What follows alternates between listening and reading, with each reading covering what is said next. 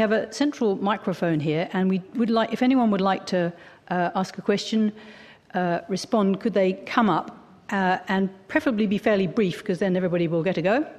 Um, my question is probably addressed to John Hirst and Henry Reynolds. Um, the current uh, asylum seekers in relation to the Sri Lankans strongly correlates to Tampa. Rudd's statements, um, recent statements last week in relation to having uh, a no apology approach on his hardline stance is very similar to Edmund Barton, which in 1901, I quote, he states in relation to the immigration restriction bill I need make no apology for calling this one of the most important matter with regard to the future of Australia. Such statements represent a cultural anxiety of white Australia, something which I believe is ingrained with the wider Australian national consciousness. This cultural anxiety is not just about race, but in a more complex and profound way about space, the space of territory, as Australia as a nation. As such, immigration has been viewed as fundamentally impl- implicating a cultural integrity and political sovereignty of the nation, White Australia, from its inception as official policy, was a matter of national survival. Uh, do you think that this is true in a historical context? And is cultural anxiety relating to race and space prevalent in Australian society today? Thank you. That's a very long question. Sorry. um, I think the uh, parado- paradox is that as I remarked, we, we behave quite differently in relation to the Vietnamese. Now, I suspect one of the reasons for that is that the right wing in Australia felt obliged to accept refugees from communism. And that was very, very important. It didn't matter for whatever reason you left a communist state, you were accepted as a legitimate refugee. Now that uh, disappears uh, after you know, the end of the Cold War. But the paradox is why ever on earth a country like Australia with a very, very large migration program, very diverse, as John has pointed out, um, one which has very, very large numbers of uh, illegals who are here because they flew in on visas and temporary visas. Why is it that we are so distraught about arrivals by boat? Now, one of the answers is that was clearly originally a political, purely political. I mean, I think the Tampa was political. Uh, it was found to be a useful thing, and I think now it is being used quite irresponsibly by the present opposition to quite deliberately uh, make this seem to be a great threat, which I don't think it is.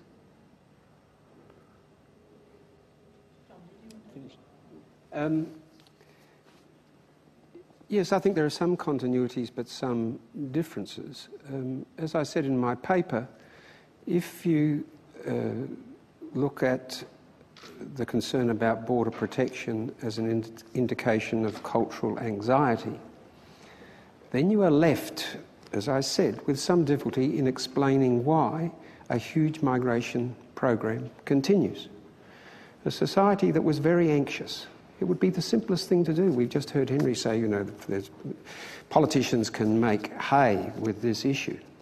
But no mainstream politician is saying we should cut back uh, our migration. The only, the only people sort of in the mainstream doing that are the Greens for environmental uh, reasons. The part I agree with may be that um, Australians have a deep memory or, or fear of being invaded from Asia.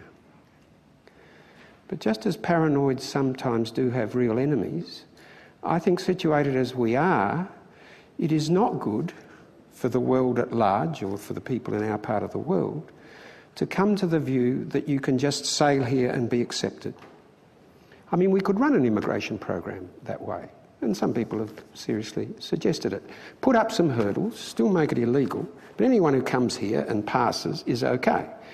And as they did that, we would cut down the quota that we set every year 12,000 for refugees, you know, 180,000 skilled, uh, and whatever.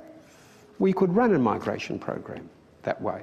And the people who say these are only a few who are coming to the border seem really to be envisaging that Because, of course, if we allowed people just to come, more would follow. We are told, you know, how many Tamils there are. They could all come. And that may, no, may not be a bad thing. But then the whole way we did migration would be different. And I think the people who misunderstand that are putting at great risk the whole migration program. And Paul Kelly, in his recent book, says this very clearly. There's a sort of compact between the Australian people. They might, may not particularly want mass immigration, and that doesn't make them unusual. They accept it on condition that the government's in charge of it.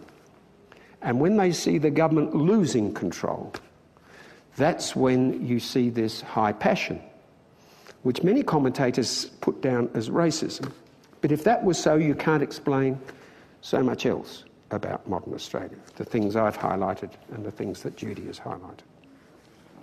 But the point is that in the 1970s, the Labor Party had it chose to make that a very big issue with Malcolm Fraser's government, then probably they could have scored enormous political benefit by frightening the Australians about the arrival of the Vietnamese. And they didn't because there was still that bipartisan support. And now that broke down under Howard. And I think it was bro- broken down deliberately. I think there's more continuity, Henry, uh, even over the Vietnamese than you allow, because certainly to his great credit, uh, Fraser let uh, the people in. But he worked furiously, as Rudd is now doing, to stop them coming. And the end of the story is that the people later in the queue just rotted in uh, migration detention centres in Thailand, Malaysia, or wherever. So Fraser was generous, and I think for the reason Henry said, I think he felt some uh, obligation because of our part in the war. But I don't think you'll get a Prime Minister. Unfortunately, now we've seen Keating, Howard, and Rudd operate in this way.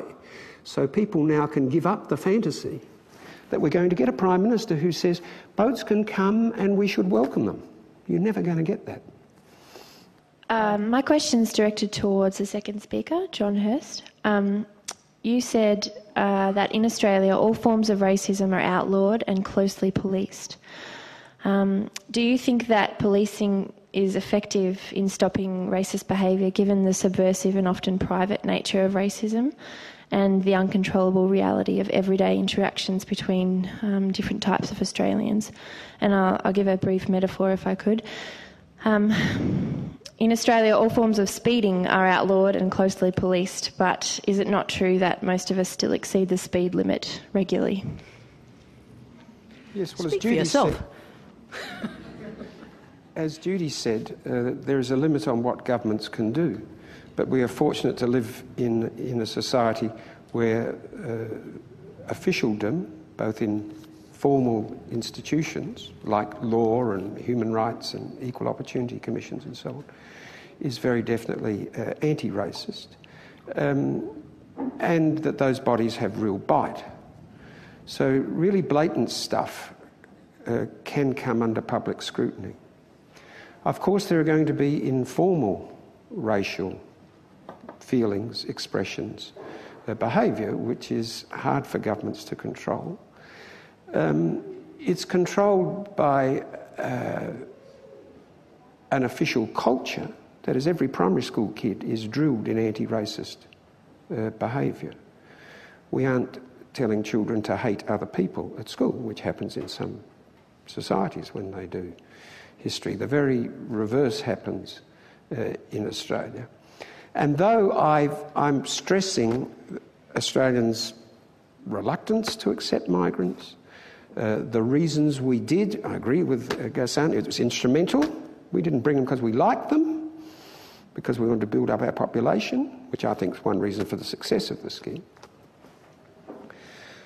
I've been stressing that, but I think in time, as Judy's work shows, Australians have now internalised this achievement. And so, very widespread in the society is the sense that we've got something valuable and that it behoves us all uh, to protect it, and we watch ourselves, as Judy reports. We watch ourselves. So we don't let you know, our worries and anxieties get out of hand. So, what more can be done? I think when there's blatant racial behaviour that's attacked and people go to court for it. And I think that's pretty good. We could do better. But I think we're set up to go on doing well. Okay. Uh, well, my question was particularly to Henry, but I guess anyone could field it if they want, uh, around what uh, great, well, most of the speakers brought up uh, the concept of structural racism, the way that, you know, it's not about people's individual ideas, whether people are more or less racist in the population, but about uh, things embedded in either policy or the structure of the country and so on, and the way they see that playing through today, because I would have thought, for instance, uh, the Northern Territory intervention, the way that seems to be the same content with a different form as all the other uh, attempts to drive Aboriginal people off the land and so on, and even to a great extent the treatment of international students and many of the, the public demonstrations in the city around uh, racism there. A lot of people at those were drawing the links with uh, government policy and the way students are treated as this being a thing pushed from the top. So I was hoping if some of the speakers could elaborate more on what they meant by structural racism and the instances they see that in today, or in that today.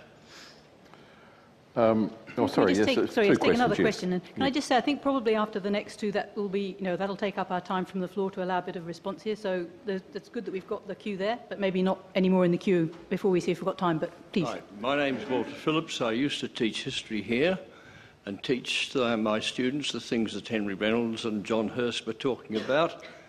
And sometimes I had students of non uh, Anglo background, if we can talk like that, who felt a little superior that they weren't part of the uh, original theft.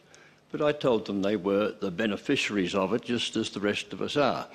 But what I want to tell you is I, the, the other day I read an article in a magazine, The Spectator Australia, Britain no longer racist. This was written by an Asian who'd gone to Britain at the age of seven, uh, but he had got on quite well in British society, and he was making the point that now in Britain you'll see at the, at the upper echelons people who are white, brown, or black, and you will also see people at the bottom of the heap who are white, brown, or black. And what he was arguing is what prevents equality of opportunity in British society today is not race, but culture. And he finished up his article by saying, It's not the colour of your skin that makes a difference to your position in society, but the cut of your jib. Now, what I'm asking really is are we moving toward a position like that in Australia? I realise that the question of the, the Aboriginal people uh, creates a, a different element from British society, but I was uh, tremendously interested and stimulated by this article. Well, I mean, just in terms of the culture race issue, I think there's, you know, there's this uh, theorist, uh, Etienne Balibar, who recently said racism no longer exists and never has there been more racism.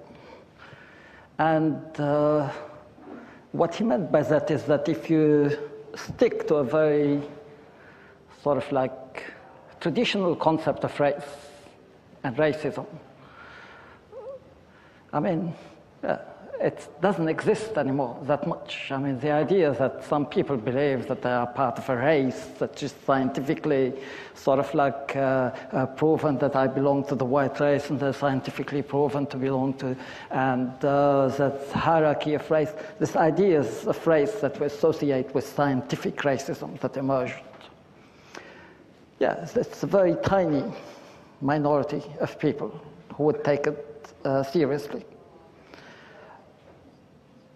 But at the same time, if you are looking at cultures of demeaning people on the basis of their identity, uh, if you're looking at, uh, I mean,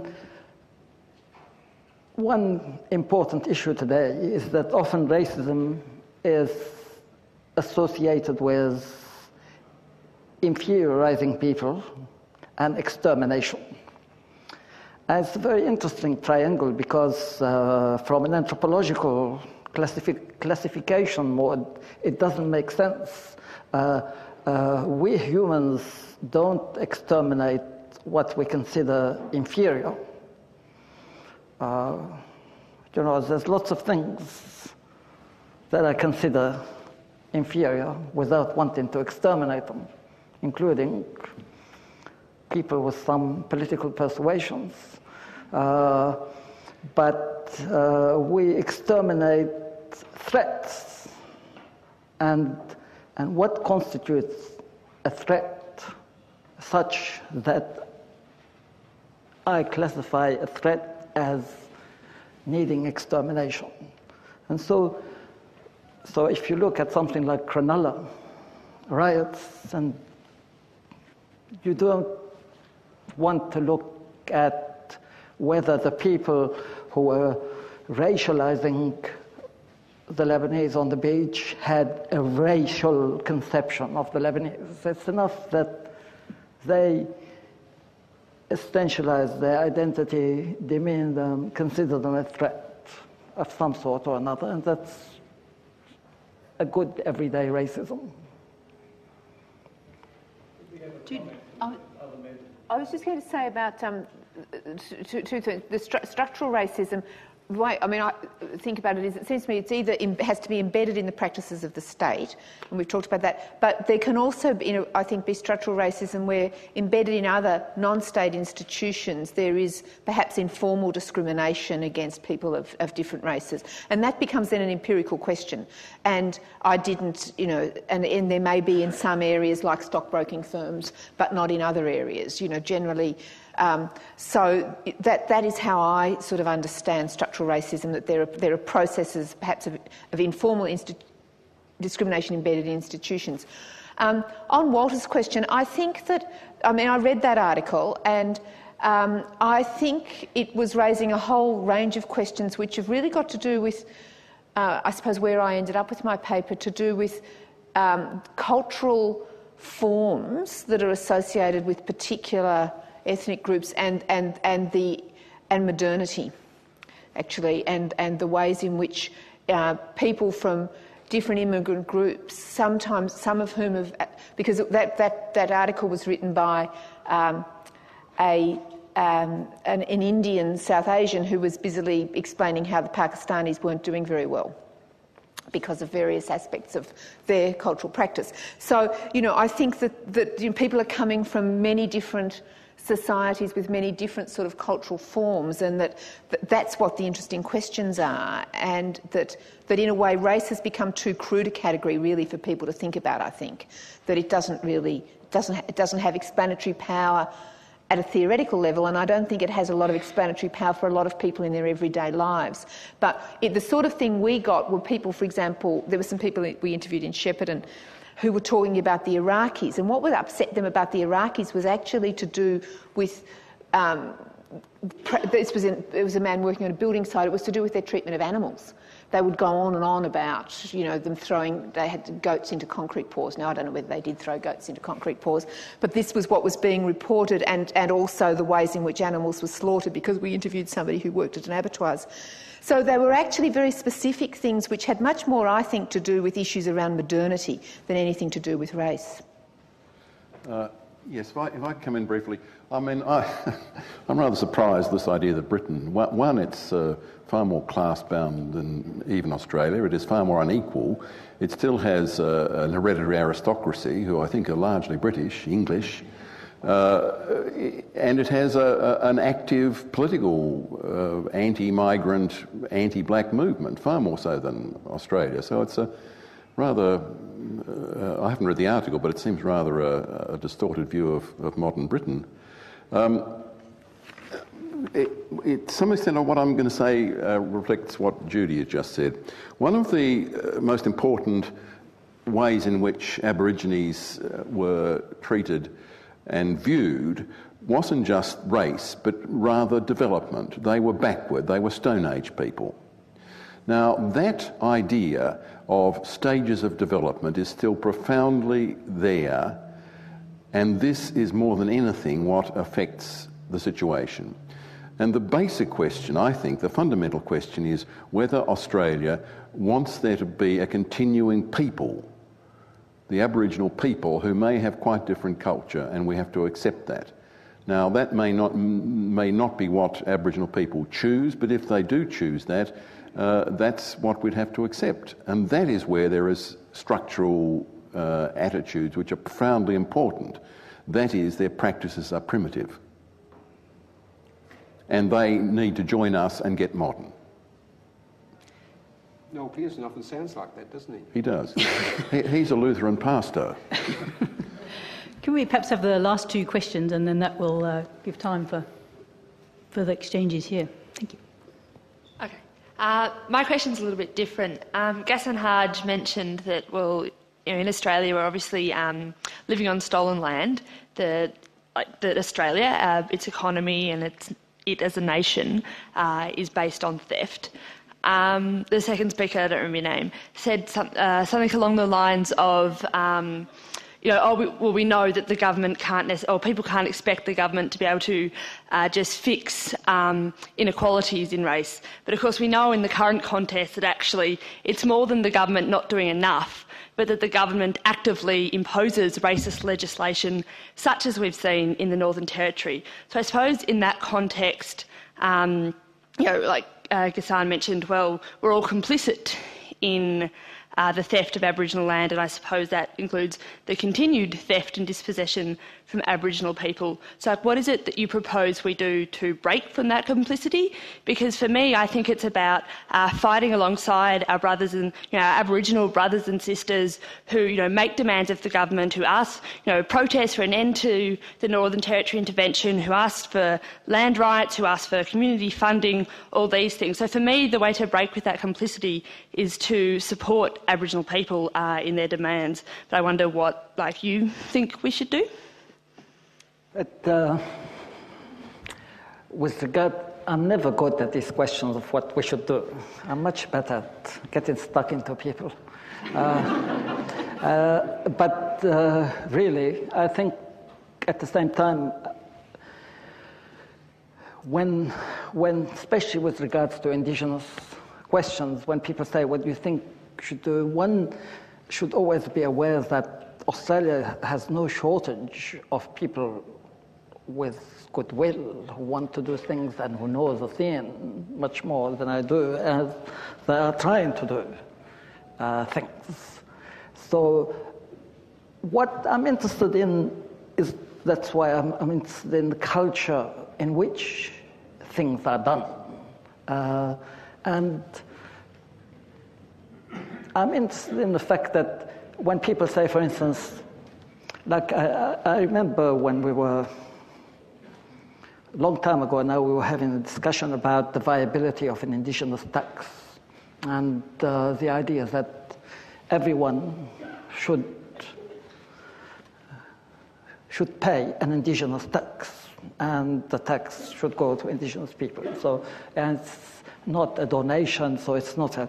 Then, of course, the question of uh, well, can you imagine who, which body is going to receive the tax and who will have the, the know how to uh, blah, blah. And then this idea that, well, can indigenous people form a kind of like bodies that can uh, help them to. Uh, and in a sense, I would be happy with people who say, well, at one level, it's none of our business. Uh, this idea of worrying about whether indigenous people will waste the money or uh, what have you. At one level, I'm saying it's full of contradictions, but at one level, I, I feel, I feel there isn't all the interventions about making indigenous people part of society. Uh, but there isn't a sense where, what about the right of mucking it up? I mean, the right, I mean, I'm, I'm very interested in this, in this right to be bad, the right to mucking it up today, because this is how I perceive uh, actually Uh, Cronulla. You see, a lot of people who attacked the racists in Cronulla were going on about how wonderful the lab boys on the beach were. And or something along this line. Well, I mean, I've done a lot of field work in this among these boys, and I've never thought they were lovely. Uh, they were seriously not nice, actually. And uh, I would be quite happy to challenge the fact that they're not nice. But at the same time, I would not like to challenge the fact that they're not nice by making it a national question and a question of their national belonging. That is, they have no monopoly over sexism and macho modalities. They are sexist, they engage in macho, and uh, they're physically violent, all of these things. But they have no monopoly over that in Australia. And they can be that without having their Australianness challenged. I mean, one of the things that struck me was that a lot of people who were worried about East Lebanese actually integrating were seriously hypocrite because what really worried them was that these Lebanese boys on the beach were really over integrated. Mm-hmm. It was, it was really about how dare you to be such a pain and so different and feel so comfy on the beach. How dare you feel so at home? Can't you be shy a bit, for God's sake? This, this was really sort of like the, the, the, and to my mind, this idea of the right to muck it up, the right to be bad, the right of the other, sort of like is an integral part of how we can start conceiving of a relation with otherness in which we are not valorizing them because we want them to be either culturally or economically productive in our national garden. Okay. Um, my question is for Judith and um, John Hirst. Judith, I just want to ask you um, you said that you found in your research that there's um, individualism um, and uh, people tend not to group people in stereotypical sort of racist ideas, then how do you explain Pauline Hanson and John Howard and people like Andrew Bolt and Alan Jones who are so successful um, and uh, who sort of, I mean, Kevin Rudd now is saying that he um, won't bow to emotional blackmail of the refugees, who use this as political. Um, leverage who use it to um, further their political ends or sort of their, their journalistic ends. Um, and my question to John Hirst was um, Do you think that the inferiority of Aboriginal hygiene is responsible for the 20 year gap in life expectancy between, um, or like Australians and first Australians? And I also want to say that um, I'm Tamil I'm a Tamil Australian, and I want to ask you about human rights and whether you think border security and the idea that if you let some in, a whole lot more will come. Um, that argument stands up in sort of the basic human um, characteristic of helping people who are desperate, who have nothing but the clothes on their back and the boat beneath their feet. Um, can we say to them, this just like this is our border security. We can't let you in. It doesn't matter if you have nothing. And also about Australia's responsibility internationally towards taking refugees. Um, how can we say that we won't take refugees and sort of then who will? Will Indonesia have to take them? Will um, like, I know Italy has about thirty-five thousand people who who um, who are refugees. And Australia, because of its geographic location, doesn't have borders with another country. So, like, uh, how, where does Australia stand in that responsibility in terms of refugees? Thank you.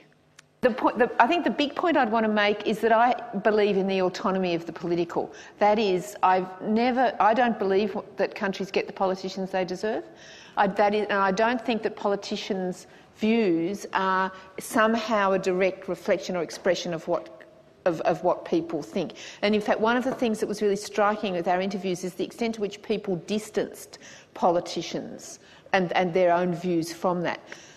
So um, that being said, people are there are plenty. It was clear that people had anxieties about a lot of issues, and so it's quite clear that that these anxieties can be mobilised and whipped up. What I suppose I was interested in was the way when, in a, in a reasonably calm situation, people um, tried to calm their anxieties down. So that's not to say that politicians don't have the capacity to actually arouse the anxieties and in, in, in, some ways inflame them. I also think people think different things at different times. One of the, an interesting article that I read uh, many years ago on McCarthyism in the United States um, by Daniel Bell. No, it was like Richard Hofstadter. It's called The Paranoid Style in American Politics. And it basically asked this question about how sometimes America would get whipped up into a sort of phase of paranoia and then it would subside and then it would come up again. And there is a sense in which there are, that politicians do have a capacity to manipulate, I think, anxieties, but it doesn't mean that people aren't also, that there aren't also other capacities there, which I guess was the point that I was trying to make. I think, John, you were fingered. Yes, I was asked but... about uh, Aboriginal health. Yes, I think in part the reason why Aboriginal health is inferior to the rest of the population is that they don't fully believe in Western medicine, which comes as a result of their being Aboriginal. And that's a dilemma. It's not the whole explanation, of course. Uh, why Aborigines uh, are living in a degraded way takes us to the whole history of um, exploitation and uh, oppression. But the point I was trying to make is people who simple mindedly think that Aboriginal health is as it is because we are not doing enough. That's, that's just wrong. It's much harder uh, than that. Um, on refugees, we do take refugees. The question was, why don't we take refugees? We are not taking uh, the people who are presently uh, in Indonesia, but we do take refugees. We take 12 or 13,000 a year. And on international terms, given the size of our population, that is quite a good record.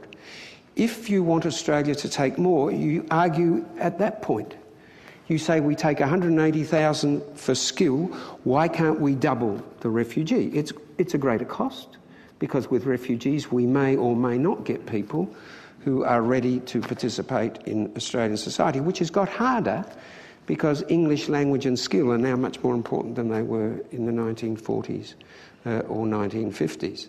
Uh, the point which I've made several times is uh, Australia is committed to taking refugees, but not taking those who happen uh, to show up. And though I see the compassion in people who are worried about um, the Tamils at the moment, and it is heart wrenching uh, to see them, people seem to lack imagination. They are not imagining two things. One, all the other people in sorted refugee camps around the world who are applying and coming to Australia.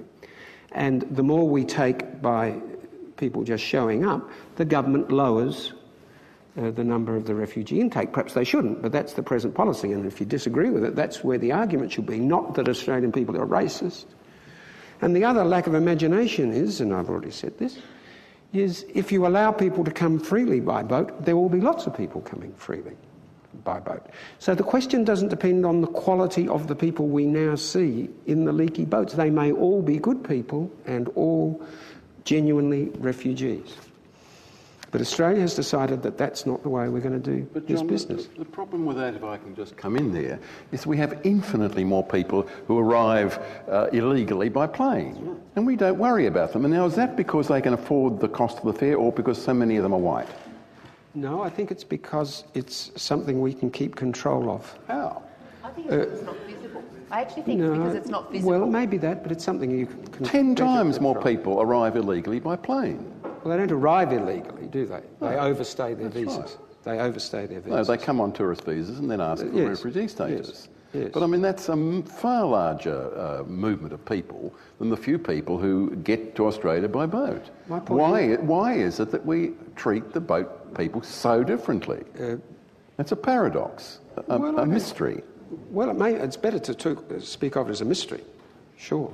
But rather than, but, but la- we're going to have to wind up in a minute because the, the session ends and uh, a lot of people are going to go. But please, if you, perhaps I should say a last go at anything that's either following on or uh, a last word on any of this? Oh, well, I was just going to say, I think it's actually because of what Howard did with the Tampa. I think that he somehow politicised things that um, David Marr had a really good article in the weekend papers, which was just he said that either there's, that there's some deep-seated anxiety, he was arguing about people on boats. It seems to me that it was open for political leadership to actually um, behave differently in relationship to the Tampa, and if that had happened, we would be in a different position now in relationship to the, um, the Tamils. There'd be a lot more people coming by that route. But which may be okay. You, but you it's may the, choose it's the, that, it's, the, it's the invisibility of the people arriving by plane, and they provide. There's no political crisis that, that that's involved. They're, they're dealt with individually. Nobody's ever seen. They don't get into the media. We barely know about them. I think this is going to go on the fisticuffs behind when we go out of here. This is clearly we've started something here. I, I, would really like to say this has been the most interesting and um, uh, generous presentations by the panels. This is a uh, as a very um, a, hot topic, an important topic, and to have a group of people talking as, as wise and uh, knowledgeable as we've had talking about this is a, is a real privilege. And the questions were terrific because it clearly led to a very interesting discussion. So thank you for the people who uh, presented questions. But I would like to very formally, um, well, not very formally, in an Australian way, uh, thank our participants, uh, Ghassan Hage, Judy Brett, John Hirst, and Henry Reynolds, for uh, immaculately prepared presentations. Uh, there was no waffle, no piffle, uh, each stating a very clear position, uh, and the terrific de- debate that ensued as a result. So perhaps you'd join me in thanking them.